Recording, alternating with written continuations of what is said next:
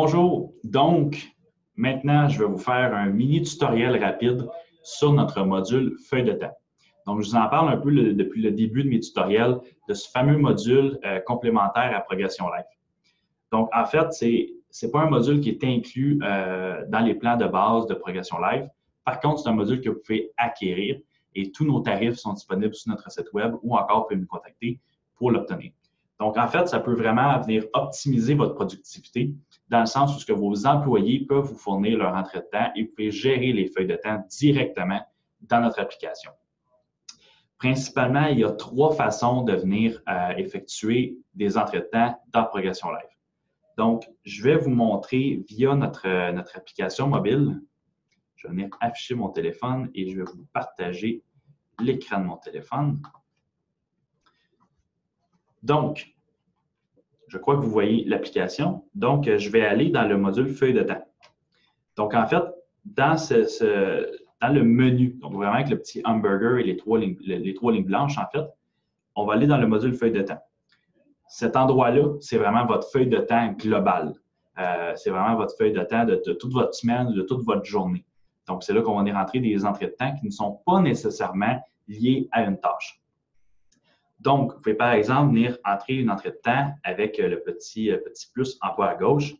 Dire par exemple, euh, ça pourrait du temps en route qui n'est pas nécessairement lié à une tâche. Par exemple, vous avez une, commission à faire pour l'entreprise et vous pouvez venir saisir l'heure de début. Donc, disons que je suis parti ce matin à 8h04 et euh, j'ai terminé cette entrée de temps-là à 9h04. Donc, une durée d'une heure. Vous pouvez également ajouter un commentaire disons, disons pardon, commission numéro 1, 2, 3, 4. Et on clique sur Enregistrer. Donc, ce que je viens de faire, je viens d'ajouter un entrée de temps ici qui est non associé à une tâche euh, d'une durée d'une heure. Donc, on peut voir à la journée et même à la semaine votre nombre d'heures total. vous avez votre total ici euh, de la journée et vous avez votre total de la semaine. Comme vous pouvez voir, toutes les entrées de temps qui sont associées à des tâches ou non s'affichent dans cet endroit-là. Donc, on peut voir qu'aujourd'hui, de 8h36 à 8h44, j'étais euh, en cours de travaux sur la tâche AS 037 chez Diffusion Solutions Intégrées et que j'étais en route pendant moins d'une minute au même endroit. Donc, c'est vraiment ce à quoi cela sert. Et je crois que j'ai une feuille de temps plus complète. Oui, juste ici. Donc, en fait, d'une semaine de 40 heures, comme vous pouvez voir. Et si je change de journée, on peut voir toutes les tâches qui ont été effectuées ou les entrées de temps qui ont été saisies. Donc, à cet endroit-là, on vient vraiment entrer des entrées de temps qui sont dissociés de vos tâches et les entrées de temps associés à vos tâches viennent se mettre automatiquement dans cet endroit-là. Donc, si vous voulez ajouter du temps euh, dans une tâche, prenons l'exemple d'une tâche. Je vais essayer d'en trouver une. Elle est terminée. Et voilà. Donc, dans, votre tâche sur l'application, vous avez la petite horloge. Donc, si évidemment le module est activé, vous avez l'horloge. Donc, en cliquant dessus, on est capable de venir entrer manuellement une entrée de temps. Donc, on clique sur le petit plus et on vient mettre travaux en cours. Par exemple, 9h55 à 13h55. Et on peut mettre un commentaire euh, travaux sur tâche, par exemple. Donc, c'est vraiment une indication pour la personne qui va réviser votre feuille de temps euh, qu'on vient mettre ce petit commentaire et on vient enregistrer. La dernière façon dont on, peut, dont on peut entrer des entrées de temps dans une tâche, c'est automatiquement. Donc, je m'explique.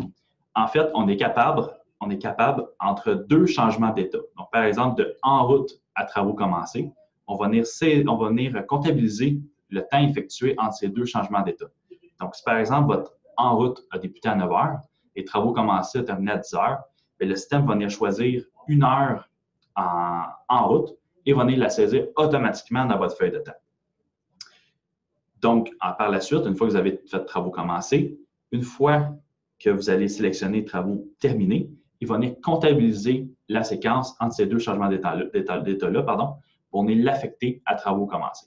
Donc, il va venir les saisir automatiquement dans le bon travail et dans votre feuille de temps. Vous n'aurez pas d'ajout manuel à faire ou d'ajout dans votre feuille de temps à venir saisir. On peut venir l'ajouter automatiquement. Donc, j'ai fait un mini survol rapide de notre module feuille de temps.